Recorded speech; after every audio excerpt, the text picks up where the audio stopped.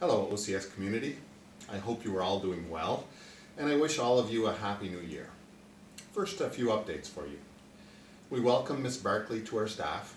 She has been working with the grade 1 class for the last couple of weeks. We are very thankful that she was able to work with the students a couple of times prior to the Christmas break so that she is no stranger to the class. We are thankful to God for the healthy delivery of a baby boy to Mrs. and Mr. Vriend. We are delighted that Mrs. Hoekema has been willing to be interim advancement coordinator until we find someone who will permanently fill this position. Your board of directors will be meeting on Monday, January 18. Among other things, they will begin the work of creating a budget for the 2021-2022 school year. We are very thankful that our supporting community has been extremely generous to us in the end of year giving.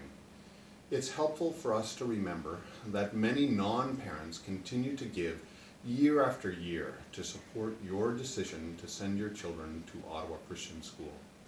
I have been struggling with how to emotionally deal with this second total shutdown of in-person learning.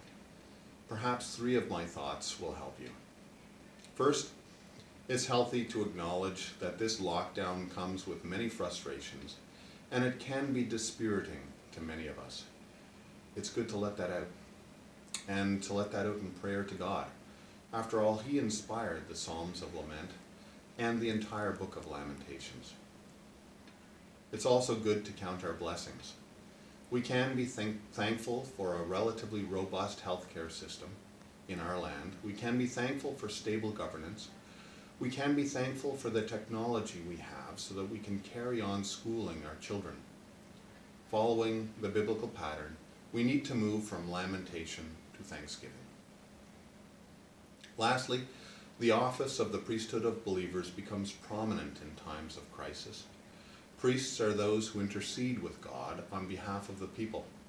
We need to pray for each other but we have also been given the high calling of interceding for all those who may or may not know the Lord Jesus Christ. This is in part what it means to be salt of the earth. Our mayor, our health officials, our premier and his ministers, the prime minister and his ministers need our prayers. I'm told that schools in wide swaths of Africa have been closed and perhaps in many other uh, lands as well. Those millions of children and those countries need our prayers. Remember, as we read in uh, James 5 verse 16, that the prayers of a righteous person are, are powerful and effective. Our children should see that we are priests of the Most High God. And now, may the peace of Christ be with you.